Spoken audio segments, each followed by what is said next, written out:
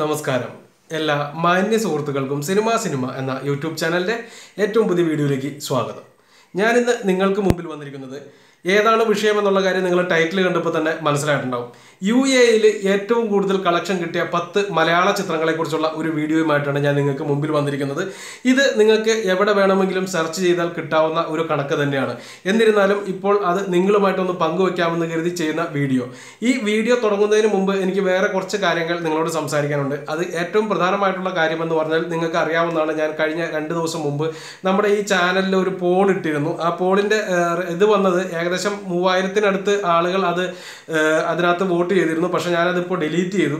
ഈ മൂവായിരത്തോളം ആളുകൾ വോട്ട് ചെയ്തതിൽ ചോദ്യം ഇതായിരുന്നു. നമ്മുടെ ഈ ചാനൽ ഒരു വാർത്താ ചാനലായിട്ട് മാറ്റിക്കോട്ടെ എന്നുള്ളതായിരുന്നു ചോദ്യം. നാൽപ്പത്തിയെട്ട് ശതമാനം ആളുകൾ അതിനെ എതിർത്തപ്പോൾ അൻപത്തിരണ്ട് ശതമാനം ആളുകൾ അതിനെ അനുകൂലിക്കുകയും ചെയ്തു. എന്ത് തന്നെയാലും ഈ രണ്ട് പോയിന്റ് എന്ന് പറയുന്നത് അതൊരു ഏഹ്, കൃത്യമായിട്ടുള്ള ഒരു കണക്കായിട്ട് നമുക്ക് വ്യാഖ്യാനിക്കാൻ പറ്റില്ല. ഒരു ഫിഫ്റ്റി ഫിഫ്റ്റി എന്ന് മാത്രമേ നമുക്ക് അതിനെ താരതമ്യം ചെയ്യാൻ പറ്റത്തുള്ളൂ. എന്ത് തന്നെയാലും നിങ്ങളുടെ ആ ഒരു തീരുമാനത്തെ ഞാൻ മാനിക്കുന്നു. ഈ ഒരു ചാനൽ സിനിമ ചാനൽ തന്നെയായിട്ട് തുടരും എന്നുള്ള കാര്യം നിങ്ങൾക്ക് വാക്ക് തരുന്നു. അതോടൊപ്പം തന്നെ വേറെ ഒരു കാര്യം കൂടി പറയാനുണ്ട്. എന്ത് തന്നെയായാലും ഞാനൊരു വാർത്താ ചാനൽ തുടങ്ങുന്നുണ്ട്. തിങ്കളാഴ്ച അതിന്റെ പ്രവർത്തനം തുടങ്ങാൻ തന്നെയാണ് പ്ലാൻ ചെയ്തിരിക്കുന്നത്. അതിനുവേണ്ടി നമ്മുടെ ഒരു ഓഫീസ് കാര്യങ്ങളൊക്കെ എടുത്തിട്ടുണ്ട്. ആ ഒരു കാര്യങ്ങൾ മുന്നോട്ട് വരുന്നതനുസരിച്ചിട്ട് ഞാൻ നിങ്ങളോട് നിങ്ങൾക്ക് മുന്നിൽ അറിയിക്കുന്നതായിരിക്കും. എന്ത് തന്നെയായാലും ഈ ചാനലിൽ മാറ്റം വരില്ല എന്നുള്ള വാക്ക് ഞാൻ നിങ്ങൾക്ക് തരുന്നു. അതുപോലെ തന്നെ വോട്ട് ചെയ്ത ഓരോരുത്തർക്കും നന്ദി രേഖപ്പെടുത്തുകയും ചെയ്യുന്നു. ഓക്കെ അപ്പോൾ നമുക്ക് നേരെ കാര്യത്തിലേക്ക് കിടക്കാം. ഈ ഒരു ലിസ്റ്റ് എന്ന് പറയുന്നത് ഏറ്റവും കൂടുതൽ കളക്ഷൻ കിട്ടിയ യു എയിലെ ഏറ്റവും കൂടുതൽ കളക്ഷൻ കിട്ടിയ പത്ത് മലയാള ചിത്രങ്ങളെ ഉൾപ്പെടുത്തിക്കൊണ്ടുള്ള ഒരു കണക്കാണ്. നമ്മളിത് പരിശോധിച്ച് നോക്കുന്ന സമയത്ത് ഇവിടെ നമുക്ക് കാണാൻ സാധിക്കുന്ന മോഹൻലാൽ എന്ന് പറയുന്ന താരത്തിന്റെ അതി എന്താ ഭീകരമായിട്ടുള്ള ഒരു ആധിപത്യം നമുക്ക് ഈ ഒരു ലിസ്റ്റ് നോക്കുമ്പോൾ കാണാൻ സാധിക്കും. എന്ത് തന്നെയാലും ഈ ഒരു ലിസ്റ്റ് ഞാൻ നിങ്ങൾക്ക് മുമ്പിൽ വായിക്കാം. അതുപോലെ തന്നെ അവിടെ നിന്ന് ലഭിച്ച കണക്കുകളും എത്ര രൂപ ഓരോ സിനിമയും നേടി എന്നതിന്റെ കണക്കുകളും ഇതിനകത്ത് ഞാൻ നിങ്ങളോട് പറയുന്നതായിരിക്കും. ഇത് ഡോളർ കണക്കിലാണ് പറയുന്നത്. ഇന്ത്യൻ രൂപ കണക്കിലല്ല നമുക്ക് ലഭിച്ചിരിക്കുന്നത്. എന്ത് തന്നെയാലും പത്താം സ്ഥാനത്ത് നിൽക്കുന്നത് മുന്തിരിവള്ളികൾ തളിർക്കുമ്പോൾ എന്ന് പറയുന്ന മോഹൻലാൽ ചിത്രമാണ്. പത്താം സ്ഥാനത്ത് നിൽക്കുന്ന മുന്തിരിവള്ളികൾ തളിർക്കുമ്പോൾ എന്ന് പറയുന്ന സിനിമയ്ക്ക് ഏകദേശം ഒരു ലക്ഷത്തി മുപ്പത്തൊന്നായിരത്തോളം ഡോളർ അവിടെ നിന്ന് പിരിഞ്ഞു കിട്ടിയിട്ടുണ്ട് എന്നുള്ളത് എടുത്ത് പറയേണ്ടതാണ്. ഒരു ലക്ഷത്തി മുപ്പത്തൊന്നായിരം ഡോളർ എന്ന് പറയുമ്പോൾ ഏകദേശം രണ്ട് കോടി രൂപയുടെ അടുത്ത് മാത്രമേ ആ സിനിമയ്ക്ക് അവിടുന്ന് കളക്ഷൻ വന്നിട്ടുള്ളൂ എന്ന് നമുക്ക് കണക്കാക്കാം. മുന്തിരിവള്ളികൾ തളിർക്കുമ്പോൾ എന്ന് പറയുന്ന സിനിമ ഒരു ലക്ഷത്തി മുപ്പത്തൊന്നായിരം ഡോളർ അവിടെ നിന്ന് പിരിഞ്ഞു കിട്ടിയിട്ടുണ്ട്. അടുത്തത് ഒൻപതാം സ്ഥാനത്ത് നിൽക്കുന്നത് വരനെ ആവശ്യമുണ്ട് എന്ന് പറയുന്ന സിനിമയാണ്. വരനെ ആവശ്യമുണ്ട് എന്ന് പറയുന്ന സിനിമ അവിടെ പത്ത് ദിവസം മാത്രമേ ഓടിയുള്ളൂ. അതിന്റെ കാരണം എന്തായിരുന്നു എന്ന് വെച്ചാൽ ആ സിനിമ അവിടെ റിലീസ് ചെയ്യുന്ന സമയത്താണ് അവിടെ കൊറോണയും കാര്യങ്ങളൊക്കെ വരുന്നത്. ഈ സിനിമയും അയ്യപ്പനും കോശിയും എന്ന് പറയുന്ന സിനിമ. അയ്യപ്പൻ കോശിയും ഒരാഴ്ച മുമ്പ് ഏകദേശം പതിനേഴ് ദിവസമാണ് അവിടെ ഓടിയത്. പക്ഷേ ഈ സിനിമയ്ക്ക് പത്ത് ദിവസം മാത്രമേ ഓടാൻ സാധിച്ചുള്ളൂ. ഇത് അവിടെ വലിയ ഒരു ഹിറ്റായി മാറുന്നു എന്ന് കാണുന്ന സമയത്താണ് ഈ സിനിമ അവിടെ നിന്നും പിൻവലിക്കേണ്ടി വന്നത്. എന്ത് തന്നെയായാലും വരനെ ആവശ്യമുണ്ട് എന്ന് പറയുന്ന സിനിമയ്ക്ക് ഒരു ലക്ഷത്തി അൻപത്തി ഒൻപതിനായിരത്തി തൊള്ളായിരത്തി സംതിങ് എന്നും പറഞ്ഞുകൊണ്ടുള്ള കണക്കാണ്. ഒരു ലക്ഷത്തി അറുപതിനായിരം എന്ന് നമുക്ക് റൗണ്ട് ചെയ്ത് കൂട്ടാം. ഒരു ലക്ഷത്തി അറുപതിനായിരം ഡോളർ അവർക്ക് അവിടെ നിന്ന് ആ ചിത്രത്തിന് പിരിഞ്ഞു കിട്ടിയിട്ടുണ്ട് എന്ന് തന്നെയാണ് അനുമാനിക്കേണ്ടത്. അടുത്തത് എട്ടാം സ്ഥാനത്ത് നിൽക്കുന്നത് ദൃശ്യം എന്ന് പറയുന്ന സിനിമയാണ്. ദൃശ്യം സെക്കൻഡ് അല്ല ദൃശ്യം ഫസ്റ്റ് എന്ന് പറയുന്ന സിനിമയാണ്. ആ സിനിമ ഇതുവരെ അതായത് ഫൈനൽ കളക്ഷൻ ആയിട്ട് വന്നത് ഒരു ലക്ഷത്തി എഴുപത്തി ആറായിരം യു എസ് ഡോളറാണ് അവിടെ നിന്ന് പിരിഞ്ഞു കിട്ടിയ കണക്ക്. അതൊരു വലിയ ഒരു സംഭവമാണ്. കാരണം രണ്ടായിരത്തി പതിമൂന്നിലാണ് ആ സിനിമ റിലീസ് ചെയ്യുന്നത്. അന്ന് ഒരു ലക്ഷത്തി എഴുപത്തി മൂവായി എഴുപത്തി ആറായിരം കിട്ടി എന്ന് പറയുമ്പോൾ അതിനെ കവർ ചെയ്ത് പിന്നീട് ഏഴ് സിനിമകൾ കൂടി മാത്രമേ മലയാളത്തിൽ വന്നിട്ടുള്ളൂ എന്നുള്ളത് എടുത്ത് പറയേണ്ട ഒരു കാര്യമാണ്. എന്ത് തന്നെയാലും ദൃശ്യം എന്ന് പറയുന്ന സിനിമ ഒരു ലക്ഷത്തി എഴുപത്തി ആറായിരം ഡോളർ നേടി അവിടെ എട്ടാം സ്ഥാനത്ത് നിൽക്കുമ്പോൾ മോഹൻലാലിന്റെ തന്നെ ഒടിയൻ എന്ന് പറയുന്ന സിനിമയാണ് ഏഴാം സ്ഥാനത്ത് നിൽക്കുന്നത്. ഒടിയന് അവിടെ നിന്ന് വന്ന കളക്ഷൻ ഒരു ലക്ഷത്തി എൺപതിനായിരം രൂപയാണ് എന്നുള്ളത് എടുത്തു പറ എൺപതിനായിരം ഡോളറാണ് എന്നുള്ളത് എടുത്തു പറയേണ്ടതാണ്. കൃത്യമായിട്ട് പറഞ്ഞാൽ ദൃശ്യം എന്ന് പറയുന്ന സിനിമയേക്കാൾ നാലായിരം ഡോളറോളം കൂടുതൽ കിട്ടിയിട്ടുണ്ട് ഒടിയൻ എന്ന് പറയുന്ന സിനിമയ്ക്ക് ദുബായിൽ എന്നുള്ളത്. ദുബായി മാത്രമല്ല യു എ ഇയിൽ എന്നുള്ളത് എടുത്തു പറയേണ്ടതാണ്. അടുത്തത് ആറാം സ്ഥാനത്ത് നിൽക്കുന്നത് ഒരു ദിലീപ് ചിത്രമാണ്. ചിത്രത്തിന്റെ പേര് ടു കൺട്രീസ് എന്നാണ്.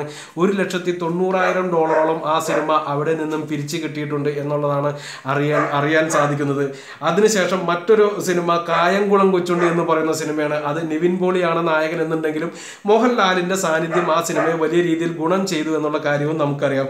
കായംകുളം കൊച്ചുണ്ടിക്ക് അവിടെ നിന്നും പിരിഞ്ഞു കിട്ടിയത് രണ്ട് ലക്ഷത്തി ഇരുപത്തി മൂവായിരത്തോളം ഡോളറാണ് എന്നുള്ളത് എടുത്ത് പറയേണ്ടതാണ്. രണ്ട് ലക്ഷത്തി ഇരുപത്തി മൂവായിരത്തോളം ഡോളർ കായംകുളം കൊച്ചുണ്ടി പിരിഞ്ഞു കിട്ടിയപ്പോൾ നിവിൻ പോളി നായകനായിട്ട് വന്ന പ്രേമം എന്ന് പറയുന്ന സിനിമയാണ് നാലാം സ്ഥാനത്ത് നിൽക്കുന്നത്. തുടർച്ചയായിട്ട് രണ്ട് സിനിമകളാണ് ഈ ലിസ്റ്റിൽ നിവിൻ പോളിക്ക് സ്ഥാനം പിടിക്കാൻ പറ്റിയത് എന്ന് പറയുമ്പോൾ പ്രേമം എന്ന് പറയുന്ന സിനിമ യു എയിൽ നിന്ന് കളക്ഷൻ നേടിയത് രണ്ട് ലക്ഷത്തി മുപ്പത്തി അയ്യായിരത്തോളം ഡോളറാണ്. രണ്ട് ലക്ഷത്തി മുപ്പത്തി അയ്യായിരത്തോളം ഡോളർ പ്രേമത്തിന് കിട്ടിയപ്പോൾ കായംകുളം കൊച്ചുണ്ണിക്ക് അതിൽ കുറവ് മാത്രമേ കിട്ടിയുള്ളൂ. രണ്ട് ലക്ഷത്തി ഇരുപത്തി മൂവായിരം ഡോളർ എന്നുള്ളത് എടുത്ത് പറയേണ്ട കാര്യമാണ്. കാരണം ബഡ്ജറ്റ് വൈസ് ആയാലും ബാക്കിയുള്ള സിനിമയുടെ വലുപ്പം കൊണ്ടൊക്കെ കായംകുളം കൊച്ചുണ്ണി അത്ര വലിയ ഒരു സിനിമയായിരുന്നു. എന്നിട്ടും പ്രേമത്തിന്റെ റെക്കോർഡ് വെട്ടിക്കാൻ ആ ചിത്രത്തിനായില്ല. മൂന്നാം സ്ഥാനത്ത് നിൽക്കുന്നത് പുലിമുരുകൻ എന്ന് പറയുന്ന സിനിമയാണ്. നമുക്കറിയാം അത് ലോകം മൊത്തം മലയാള സിനിമയുടെ സകല റെക്കോർഡുകളും തിരുത്തി കുറിച്ച ഒരു സിനിമയായിരുന്നു പുലിമുരുകൻ എന്ന് പറയുന്ന സിനിമ. പുലിമുരുകൻ ഇറങ്ങുന്ന സമയത്ത് പുലിമുരുകൻ തന്നെയായിരുന്നു യു എയിലെ ഏറ്റവും കൂടുതൽ കളക്ഷൻ കിട്ടിയ ചിത്രവും. അത് രണ്ട് ലക്ഷത്തി നാൽപ്പത്തി നാലായിരം ഡോളറാണ് ആ സിനിമയ്ക്ക് കളക്ഷൻ കിട്ടിയത്. രണ്ട് ലക്ഷത്തി നാൽപ്പത്തി നാലായിരം ഡോളർ ആ ചിത്രത്തിന് യു എയിൽ നിന്ന് കളക്ഷൻ കിട്ടിയിരുന്നു. അതിനുശേഷം പിന്നീട് വരുന്നത് ഞാൻ പ്രകാശൻ എന്ന് പറയുന്ന സിനിമയാണ്. ഫഹദ് ഫാസിൽ നായകനായിട്ടുള്ള ഞാൻ പ്രകാശൻ എന്ന് പറയുന്ന സിനിമയാണ്. രണ്ടാം സ്ഥാനത്ത് യു എയിൽ നിന്ന് കളക്ഷൻ കിട്ടിയത്. കൃത്യമായിട്ട് ആ ചിത്രത്തിന്റെ കളക്ഷൻ വന്നിരിക്കുന്നത് രണ്ട് ലക്ഷത്തി എൺപത്തി ഒന്നായിരത്തോളം ഡോളറാണ് എന്നുള്ളത് എടുത്തു പറയേണ്ടതാണ്. രണ്ട് ലക്ഷത്തി എൺപത്തി ഒന്നായിരത്തോളം ഡോളർ ഞാൻ പ്രകാശൻ എന്ന് പറയുന്ന സിനിമയ്ക്ക് കളക്ഷൻ കിട്ടിയപ്പോൾ ഒന്നാം സ്ഥാനത്ത് നിൽക്കുന്ന ലൂസിഫർ എന്ന് പറയുന്ന സിനിമ ഇതിന്റെ എല്ലാം ഇരട്ടിയോളം തുകയാണ് കിട്ടിയത് എന്നുകൂടി എടുത്തു പറയേണ്ടതുണ്ട്. കൃത്യമായിട്ട് പറഞ്ഞാൽ അഞ്ച് ലക്ഷത്തി അറുപത്തി നാലായിരത്തോളം ഡോളറാണ് ലൂസിഫർ എന്ന് പറയുന്ന സിനിമയ്ക്ക് പിരിഞ്ഞു കിട്ടിയത്. ലൂസിഫറിന്റെ ഏറ്റവും വലിയ മഹത്വം എന്താണെന്ന് വെച്ചാൽ സകല ജി സി സി രാജ്യങ്ങളിൽ നിന്നുമായിട്ട് ആ ചിത്രത്തിന് പിരിഞ്ഞു കിട്ടിയത് അൻപത് കോടി ഡോളറാണ് എൺപത് കോടി രൂപയാണ് എന്നുള്ളതാണ്. ഇന്നും മലയാള സിനിമയിൽ ഏറ്റവും കൂടുതൽ കളക്ഷൻ കിട്ടിയ ചിത്രവും ഇന്ത്യൻ സിനിമകളിൽ ഏറ്റവും കൂടുതൽ കളക്ഷൻ കിട്ടിയ പത്ത് ചിത്രങ്ങളിൽ ഒന്നും ലൂസിഫർ തന്നെയാണ്. ദുബായ് യു എ ഇ ഏരിയകളിൽ അല്ലെങ്കിൽ ജി സി സി രാജ്യങ്ങളിൽ എന്നുള്ളത് എടുത്തു പറയേണ്ട കാര്യമാണ്. അത്ര വലിയ ഒരു ഹിറ്റായി മാറിയിരുന്നു ലൂസിഫർ എന്ന് പറയുന്ന സിനിമ ജി സി സി രാജ്യങ്ങളിൽ.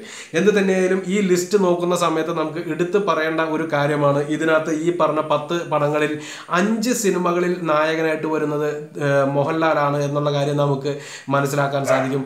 ഒരു സിനിമയിൽ മോഹൻലാൽ അതിഥി താരമായിട്ട് എത്തുന്നുണ്ട്. ആ സിനിമയുടെയും അതിന്റെ കളക്ഷന്റെ ഏറ്റവും വലിയ കാരണവും മോഹൻലാലിന്റെ ആ അതിഥി വേഷമായിരുന്നു എന്നുള്ളതും നമുക്കറിയാവുന്നതാണ്. പിന്നീട് എടുത്തു പറയേണ്ടത് ദുൽഖർ സൽമാന്റെ ഒരു സിനിമ വരുന്നുണ്ട് വരനെ ആവശ്യമുണ്ട് എന്ന് പറയുന്ന ഒരു സിനിമ വരുന്നുണ്ട് ടു കൺട്രീസ് എന്ന് പറയുന്ന ദിലീപിന്റെ ഒരു സിനിമ വരുന്നുണ്ട് രണ്ട് നിവിൻ പോളി ചിത്രം വരുന്നുണ്ട് ഒരു ഫഹദ് ഫാസിൽ ചിത്രം വരുന്നുണ്ട്. ഇത്രയും സിനിമകളാണ് ദുബായിൽ അല്ലെങ്കിൽ യു എയിൽ ഏറ്റവും കൂടുതൽ കളക്ഷൻ കിട്ടിയ പത്ത് മലയാള സിനിമകളുടെ ലിസ്റ്റിൽ വരുന്നത്. ഈ ഒരു ലിസ്റ്റ് നോക്കുന്ന സമയത്ത് നമുക്ക് ഇതിനകത്ത് ഒരു മമ്മൂട്ടി പടം പോലും കാണാൻ സാധിക്കില്ല എന്നുള്ളത് എടുത്ത് പറയേണ്ടതാണ്. ഈ ഒരു ലിസ്റ്റ് എനിക്ക് പത്ത് സിനിമകളുടെ ലിസ്റ്റല്ല കിട്ടിയിരിക്കുന്നത് ടോപ്പ് ഫിഫ്റ്റി സിനിമകളുടെയാണ്. അൻപത് സിനിമകൾ ലോകത്ത് യു എയിൽ ഏറ്റവും കൂടുതൽ കളക്ഷൻ കിട്ടിയ അൻപത് സിനിമകളുടെ ലിസ്റ്റാണ് കിട്ടിയിരിക്കുന്നത്. അത് സമയത്തിന്റെ പ്ര- പ്രശ്നമുള്ളത് കൊണ്ടാണ് ഇപ്പോൾ പത്തിൽ ഒതുക്കിയത്. നമുക്ക് അടുത്ത ദിവസങ്ങളിൽ അത് നാളെ തന്നെ അതിന്റെ അൻപത് സിനിമകളുടെ ലിസ്റ്റ് ഞാൻ നിങ്ങൾക്ക് മുമ്പിൽ അവതരിപ്പിക്കുന്നതായിരിക്കും. അതിനകത്ത് മമ്മൂട്ടി ചിത്രങ്ങൾ നിരവധി വരുന്നുണ്ട് എന്നുള്ളതും എടുത്തു പറയേണ്ടതാണ്. എന്ത് തന്നെയാലും ടോപ്പ് ടെൻ എന്ന് പറയുന്ന റാങ്ക് വന്ന് നിൽക്കുന്നതിൽ ഒന്നാം സ്ഥാനം മോഹൻലാലും രണ്ടാം സ്ഥാനം നിവിൻ പോളിയുമാണ് എന്നുള്ളത് മനസ്സിലാക്കാൻ സാധിക്കും. പിന്നീട് ഒരു ദിലീപ് ചിത്രവും ഒരു നമ്മുടെ ദുൽഖർ സൽമാൻ ചിത്രവുമുണ്ട്. അവിടെ എടുത്ത് ഫഹദിന്റെ ഒരു സിനിമയുണ്ട്. അവിടെ എടുത്തു പറയേണ്ട സംഭവം എന്തായിരുന്നു എന്ന് വെച്ചിട്ടുണ്ടെങ്കിൽ ഈ ഏഹ് അതുപോലെ തന്നെ ഫഹദിന്റെയും അതുപോലെ തന്നെ ദിലീപിന്റെയൊക്കെ ചിത്രം വന്നപ്പോഴും പൃഥ്വിരാജിന്റെ ചിത്രം ഈ ടോപ്പ് ടെന്നിൽ ഇടം പിടിച്ചിട്ടില്ല എന്നുള്ളതും എടുത്ത് പറയേണ്ട ഒരു കാര്യമാണ്. ഓക്കെ അപ്പോൾ അടുത്തൊരു വീഡിയോ ആയിട്ട് വീണ്ടും കാണാം. അതുവരെ നന്ദി നമസ്കാരം.